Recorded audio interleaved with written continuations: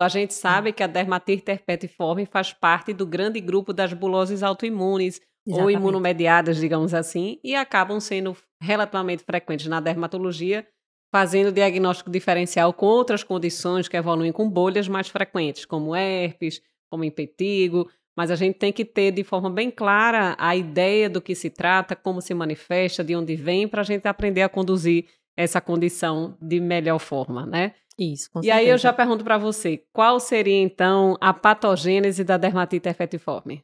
Então, é, a gente sabe, né, que a dermatite herpetiforme, ela está relacionada com a doença celíaca, né? Isso. Então, assim, a gente memoriza isso, mas a gente precisa entender o que que acontece, né, em relação ao glúten, para a gente desencadear aí a dermatite herpetiforme.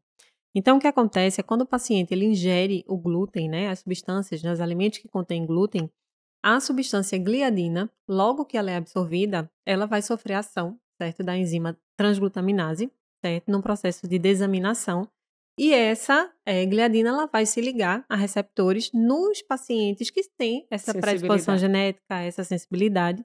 E aí vai gerar ali a produção né, de citocinas inflamatórias, de autoanticorpos ali contra a transglutaminase. E esse, esses anticorpos que são do tipo IgA contra a transglutaminase, né, vão estar ali na corrente sanguínea e quando chegar ali perto da pele, pode sofrer uma reação cruzada com a transglutaminase epidérmica, certo? E aí essa reação cruzada é que vai gerar, né, uma reação inflamatória na epiderme, uma quimiotaxia de neutrófilos, né? E aí a gente vai ter a formação das bolhas, né, e de toda a clínica aí da dermatite herpetiforme. Dessa vez o glúten tem culpa, né? O tem. glúten tem, leva tanta culpa aí de graça sem relação é. né, causal. E aqui, nesse sentido, a gente sabe que eh, o glúten faz parte da patogênese.